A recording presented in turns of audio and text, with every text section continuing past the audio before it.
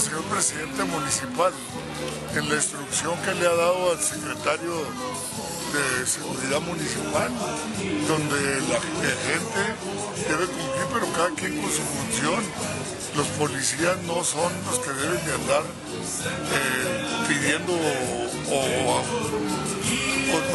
atropellando a la gente y menos pues, haciendo funciones de tránsito.